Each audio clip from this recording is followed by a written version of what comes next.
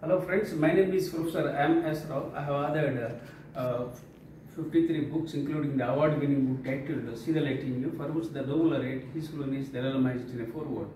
I have 43 years of diverse experience including Air Force, business, teaching and training.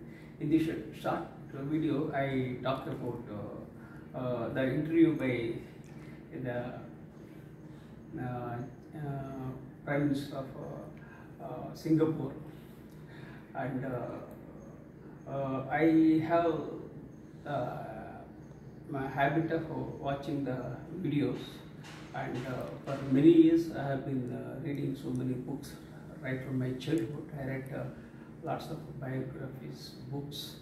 I read thousands of books in my lifetime.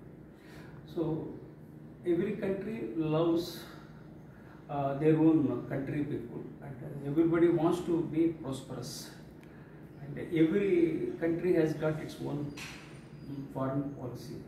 So your policy uh, i mean uh, your fo- foreign policy must be based on your national interests.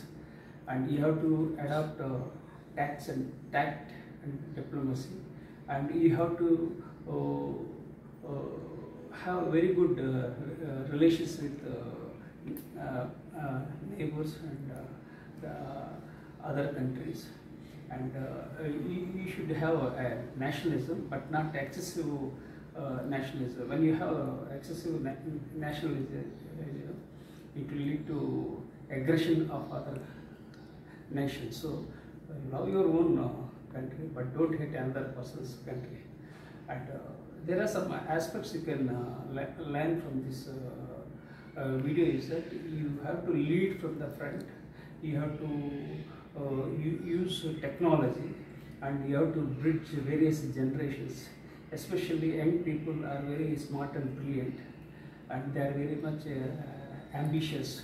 They want to uh, leave their uh, mark for the next generations. Uh, but at the same time they have to be very much patient. So there are some aspects you have to make a note of and the future belongs to uh, the young generations and every one writes their own uh, story.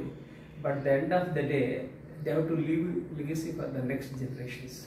That's how you have to it and let me share with you my challenge. I was blessed to be alive of the brain stroke in the year of 2021 i survived because of my positive psychology.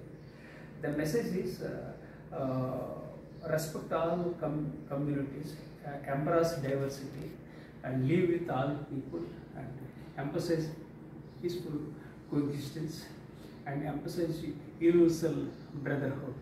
Thank you for subscribing to my YouTube channel.